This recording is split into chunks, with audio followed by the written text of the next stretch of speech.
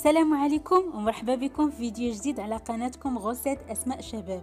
تحت طلب بعض المتتبعات الوفيات بغاو تارت باتيسي أو ما يسمى بفلوم باتيسي.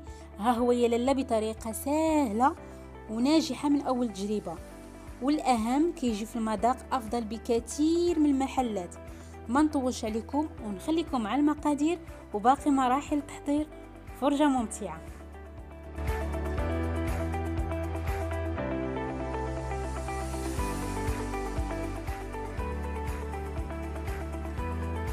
أمامكم الآن في الشاشة المقادير بالجرام اللي غادي نحتاجوها في لاباط صابلي. وفي الفيديو إن شاء الله غادي نطرقوا جميع المقادير بكأس العنبه سعه الكأس 100 مليلتر بالنسبة للناس اللي ما متوفرش عندهم الميزان.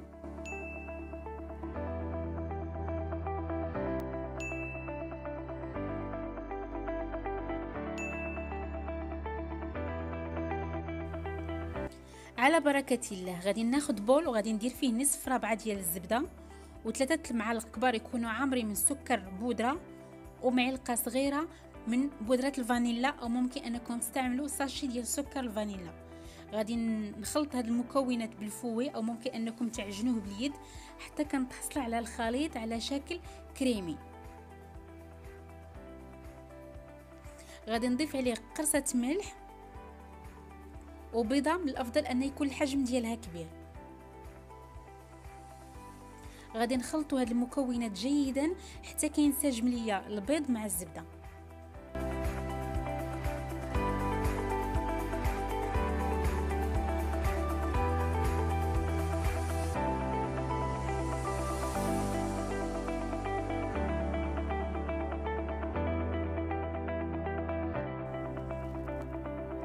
من بعد غادي نضيف الدقيق للخليط بالنسبة للدقيق راني déjà غربلته غادي نعبرو معكم بكأس العنبة. كيف ما قلت لكم قبل سعة الكأس 100 مليلتر هنا خديت الكأس الأول هو اللي ضفتو للخليط. من بعد غادي نحاول نجمع العجين بيدي وغادي نضيف ليه الكأس الثاني تدريجيا. من الأفضل أنكم ما تضيفوش الدقيق دفعة واحدة لأن على حسب كل دقيق كي كيتشرب سوائل.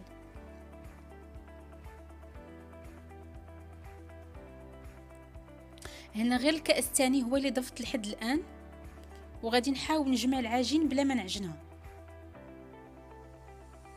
غادي نضيف معلقة صغيرة من خميرة الحلويات. ما تكتروش لأن بغينا لاباط تكون عندنا رقيقة. وغادي نضيف عليها ربع كأس من الدقيق يعني الكاس الثالث غادي ناخذ فيه غير ربع. وغادي نحاول نجمع العجين وحاولوا ما تكتروش من كمية الدقيق باش ما يجيكمش الصابلي ديالكم قاسح. بالنسبة للعجين ما كتجيش قاصحه وما كتجيش كتلصق في اليد يعني كتجي رطبة والقوام ديالها بهذا الشكل.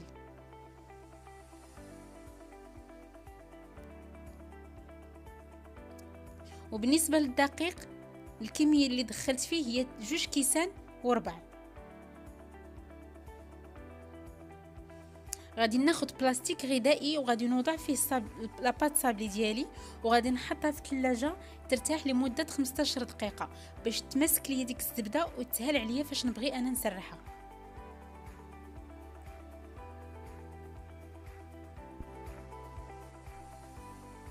من بعد مرور 15 دقيقة غادي نزول بلاستيك غذائي من لاباط صابلي وغادي نحاول نسرحها ما بين ورق الفرن أو ممكن أنكم تستعملوا البلاستيك غذائي.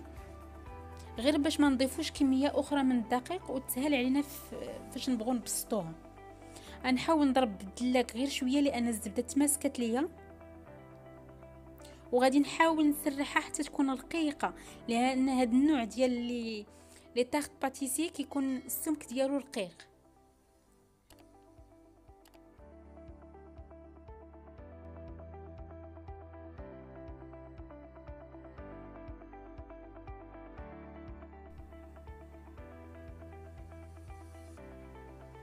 كيف ما كتلاحظوا السمك ديالو كيكون رقيق بهذا الشكل.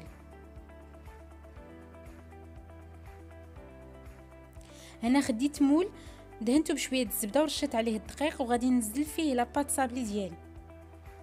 من الأفضل أنكم تسرحوها فوق بلاستيك غذائي أو فوق آه، ورق الفرن باش منين تبغوا تنزلوها تجيكم سهلة. عكس إلى سرحتوها فوق سطح العمل ملي كتبغوا تدوروها فوق المدلك راه ما غاديش تهز لكم لأن العجين كتكون رطبة بزاف وكتكسر.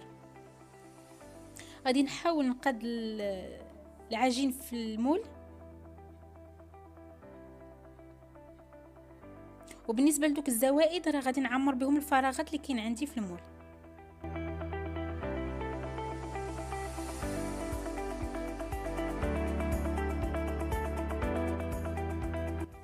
غادي نوركو على هاد الجوانب جيدا باش تاخد لينا العجين شكل المول. وما تنفخش لينا فاش نبغوا نطيبوها. نبقى على هاد الشكل حتى كنكمل الإطار كامل. وناخد فرشة وغادي نتك بها غير الوسط وما غاديش نقيس الجوانب.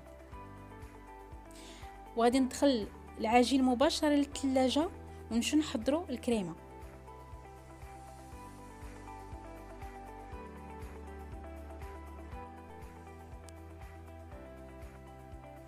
أمامكم في الشاشة المقادير بالجرام وفي الفيديو غادي نطرقوا بالمقادير بالكأس.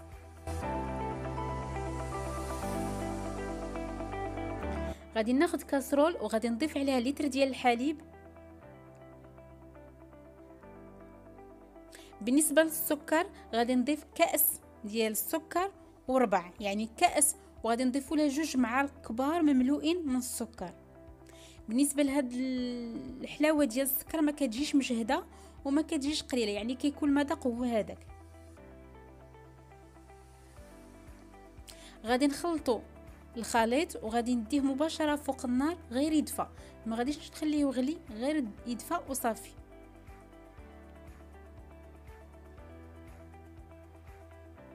غادي ناخد البيض ثلاثة البيضات وغادي نضيف عليهم كأس يكون مملوء حتى الفوق. يعني عمروا الكأس وزيدوا فوق منه معلقه أخرى من نشا. وغادي نخلطوا المكونات حتى كتنسجم جيدا.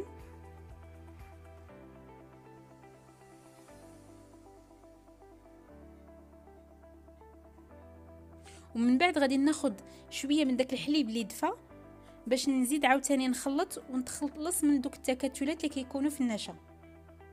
وغادي ندي الحليب مباشرة يسخن. يسخن حتى كتوصل ليه الغليه ونطفي ليه هنا من بعد ما سخن ليا الحليب مزيان غادي نحاول نصفي خليط النشا والبيض بالمصفات باش نتخلصوا من دوك التكتلات اللي كيكونوا فيه ونحركو جيدا وندوه مباشرة فوق النار على متوسطة مع التحريك المستمر باش ما يتحرقش لكم الخليط لأنه دغيا كيعقد. غير كنحسو بفقاعات غادي نطفيو على النار. من بعد ما وجدت لي الكريمة كتكون بهذا الشكل غادي نضيف عليها معلقة تكون صغيرة مملوءة من سكر فانيلا باش يتعزز لنا داك الذوق وتبقى لنا الفاني مجهدة. أفضل من أننا نضيفوها من الأول. غادي نحركوه جيدا كيف ما كتلاحظوا القوام ديالو ما كيكونش ثقيل وما كيكونش خفيف. وغادي ناخذ صحن يكون كبير وغادي نصب فيه الخليط. بالنسبة للخليط ما غاديش ندخلو الثلاجه غادي نحتفظ به غير فوق سطح العمل. ما غاديش نخليه حتى يبرد جيدا غير يدفى ليا شوية وغادي نستعملو مباشرة.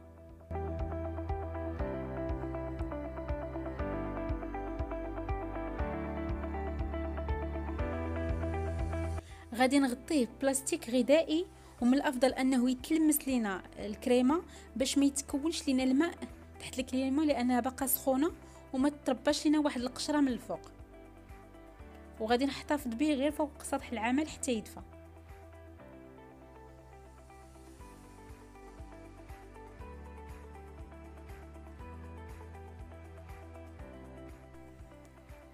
من بعد ما دفات ليا الكريمة غادي نحاول نحركها شوية باش حتى ديك الجهة اللي كتكون سخونة باقا لتحت تخلط ليا مع الجهة الفوقانية اللي كتكون بردات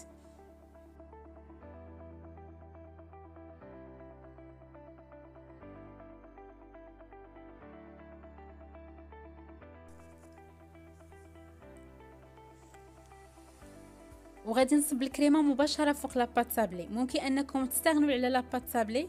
كاينين بعض المحلات كيما كيبيعوهاش بلاباط سابلي كيتباع غير هكاك فلون عادي. ولكن قلت من الأفضل أنني نقدم لكم الطريقة الصحيحه كيف كيف خاصها تكون. غادي نحاول نقاد لها الوجه ديالها.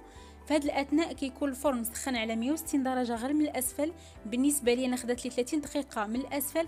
غير حسيت بالجوانب بداو كيحمروا وأنا نشعل ليها من الفوق. باش تحمر مزيان ويكمل وتكمل في الطياب. يعني خدات لي 30 من الأسفل و30 من الأعلى. بالنسبة للناس اللي ما غاديش يحضروا لاباط صابلي ممكن أنها تاخذ لكم آه، بدون لاباط تاخذ لكم حتى لساعات المكانة أو ساعة أو خمسة دقائق باش توجد لكم الفلون. وهذا هو الشكل ديالها من بعد ما خرجتها من الفرن. وباقي هي سخونة غادي ناخذ شوية ديال الناباج وغادي ندهن الوجه ديالها. ممكن أنكم تخلوها يعني تحتفظوا بها في الثلاجة حتى تبرد لكم جيدا عاد تاخذوا شوية ديال الناباج تسخنوه مزيان ودهنوا بها. المهم كيبقى على حسب الاختيار ديالكم.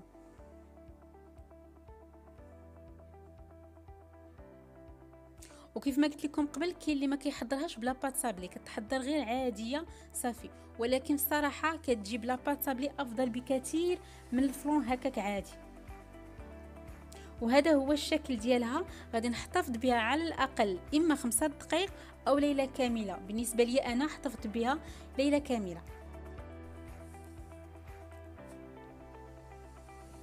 من بعد مرور ليلة كاملة غادي نقطعها معكم باش تشوفوها من الداخل كيف كتجي. كيف ما كتلاحظوا كتجي الكريمة متماسكة. ولاباط كتجي محمرة وناجحة. إن شاء الله غادي تتبعوا جميع التفاصيل وغادي تنجح معكم من أول تجربة. وهاد la pâte طلبا لبعض الأخوات اللي طلبوني كنتمنى أنني نكون فدتكم ولو بالقليل. وبالنسبة للناس الجداد لأول مرة كتشوف القناة تتمنى أنكم تشتركوا وتفعلوا زر الجرس باش توصلوا بكل جديد.